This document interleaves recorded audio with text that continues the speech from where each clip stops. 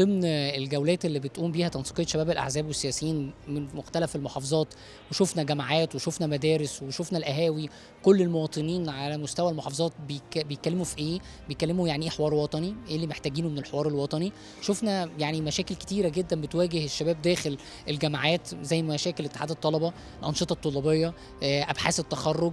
بيتكلموا كمان عن حاجات زي الإدمان والانتحار. بيسألوا هل الدولة المصرية هتقدر تساند وتساعد في الملفات دي ولا لأ؟ كنا بنتكلم عن أهمية الخدمة الاجتماعية بنتكلم عن أهمية الكليات والمدارس الخاصة بالفني الكليات الفنية.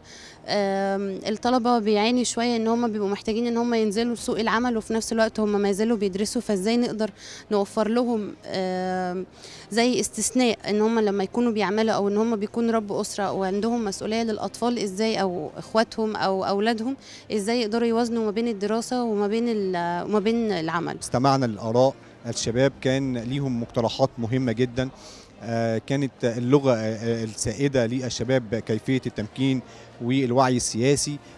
تنسيقية شباب الاحزاب والسياسيين كانت متواجدة على مدار أكثر من 10 أيام في محافظات مصر. وناقشنا مع مجموعات الشباب القضايا اللي طرحوها علينا فيما يخص التعليم فيما يخص الأنشطة الطلابية وأيضا فيما يخص الدولة بشكل عام. عايز أقول النهارده فرصة إن إحنا كمان نتواجد في مراكز الشباب زي ما إحنا تواجدنا في كافة ربوع مصر سواء في دوائرنا أو حتى موجودين في الجامعات المصرية ولقاءات مع الأحزاب. ونتكلم كمان إن إحنا موجودين في كل الطوائف وكل الفئات المجتمعية علشان نسمع لهم وننصت لهم ونطلعهم على الحوار الوطني بمحاوره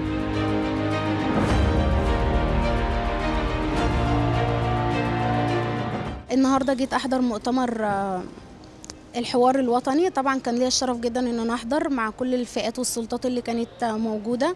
وبنشكر الدولة طبعا على مجهودها العظيم في سماع رأي الشباب اللي طبعا دوت بي بي بيعود بعائد حسن على الشباب أكيد. النهارده أنا ناقشت المبادرة بتاعتي مبادرة آه الابتزاز الإلكتروني والسادة النواب والأساتذة الكرام آه تقبلوا الموضوع وساهموني فيه جدا.